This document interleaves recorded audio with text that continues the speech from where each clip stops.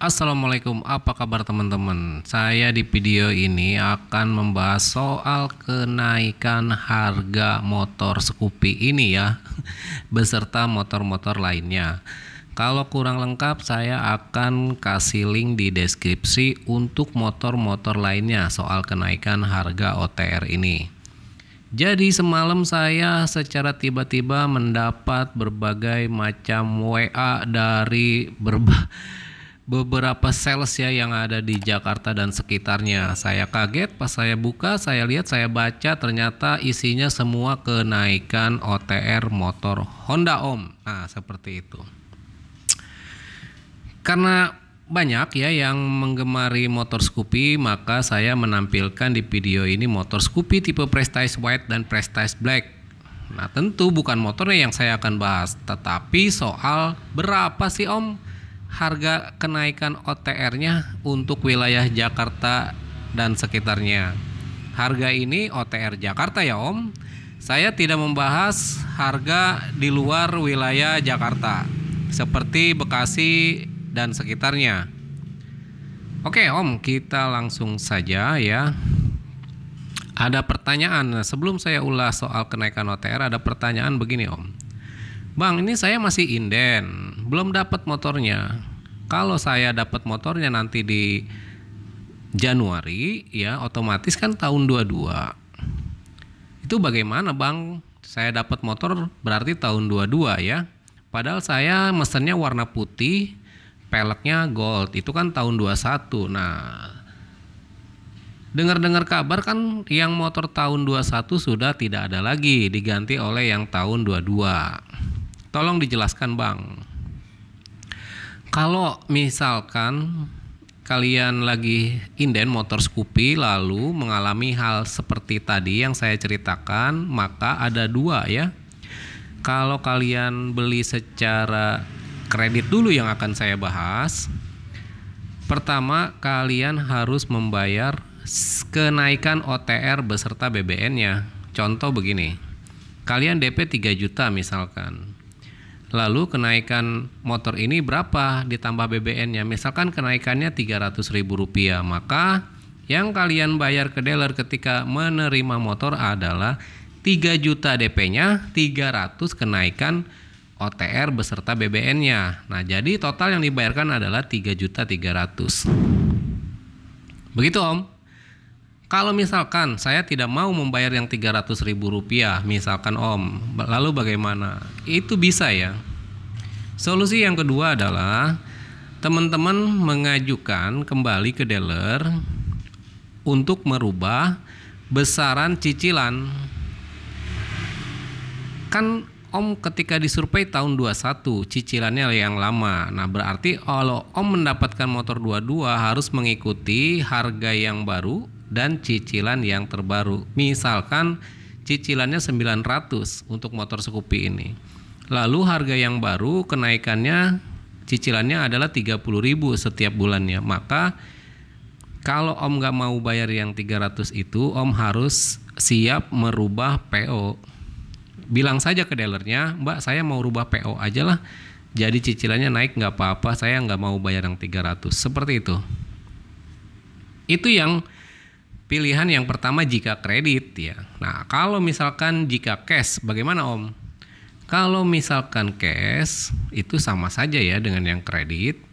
Jadi ketika motornya dapat Om bayar misalkan harga motor ini 21 juta.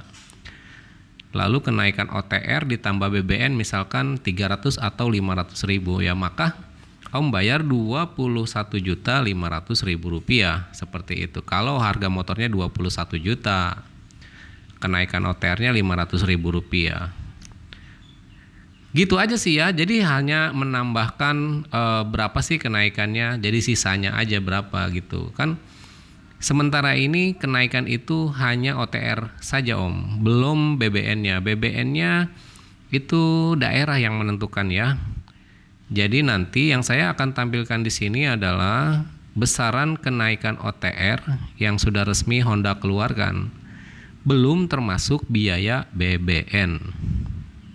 Jadi Om kalau beli motor pernah Om datang ke dealer minta brosur terus tiba-tiba Om datang lagi ke dealer di bulan Januari itu harganya berbeda jangan kaget dealer bukannya nipu ya tapi itu adalah kenaikan eh, kenaikan OTR beserta BBN-nya seperti itu Om nah ya oke sekarang kita akan bahas soal kenaikan motor ini di antaranya yang pertama akan saya bahas adalah motor uh, Honda Beat.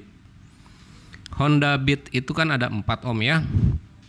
Itu kenaikannya kita bahas yang satu-satu aja dulu ya. Honda Beat Street yang pertama.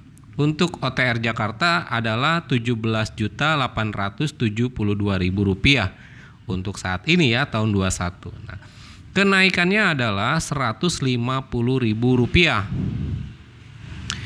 Jadi harga tahun 22 untuk Beat Street adalah 18 juta 22 ribu rupiah. Nah, kenaikannya 150 ribu ya. Lalu untuk Beat Sporty tipe CBS itu kema uh, tahun 21 harganya 16 juta 827 kenaikan OTR-nya adalah 150 ribu maka harga yang untuk tahun 22 adalah 16.977 ribu rupiah. Sedangkan untuk BIT CBS ISS adalah 17.912 ribu rupiah. Kenaikan OTR-nya adalah 150 ribu rupiah. Maka harga 22 adalah 18 juta 62 ribu rupiah. Lalu BIT Deluxe ya harga yang sekarang itu adalah 18 juta 12 ribu rupiah kenaikannya adalah 150 ribu rupiah maka harganya adalah 18 juta 162 ribu rupiah nah itu ya kenaikan untuk seluruh motor uh, Beat series ada 4 Beat di sini 4 tipe motor Honda Beat itu masing-masing kenaikan harganya adalah 150 ribu rupiah termasuk kenaikan yang paling tinggi ya untuk motor Beat ini dibanding dengan motor yang lainnya. Oke. Lalu kita bahas motor Vario. Vario 125 tipe CBS itu kenaikan OTR-nya adalah 149.500 ya. Kenapa nggak 150 ya? Hanya beda 500 perak. Untuk yang Vario 125 CBS sebelumnya 21 167.500. Nah, sekarang naik menjadi 21 juta 317 ribu rupiah. Sedangkan untuk Vario 125 CBS ISS adalah kenaikannya 150 ribu rupiah. Untuk Vario 125 CBS ISS yang warna biru itu kenaikannya 150 ribu rupiah. Nah, jadi bisa disimpulkan bahwa untuk motor Vario series itu kenaikannya adalah rata-rata Rp150.000. Jadi Honda Beat dan Vario 125 itu sama ya. Kenaikan OTR-nya adalah eh, Rp150.000. Sekarang kita bahas yang terakhir ini yaitu motor Scoopy. Scoopy itu ada empat tipe ya, dua tipe yang pakai kunci yaitu Sporty dan Passion itu kenaikan OTR-nya adalah Rp150.000. Lalu untuk yang tipe Prestige dan tipe Stylish ini adalah Rp150.000 kenaikannya. Semua kenaikan motor ini belum termasuk HBBN ya. Jadi Misalkan di sini kenaikannya 150, terus BBN-nya misalkan 200, maka kenaikan totalnya adalah misalkan ya 250. Untuk besaran kenaikan BBN itu Om bisa tanyakan langsung ke dealer masing-masing. Nah, seperti itu.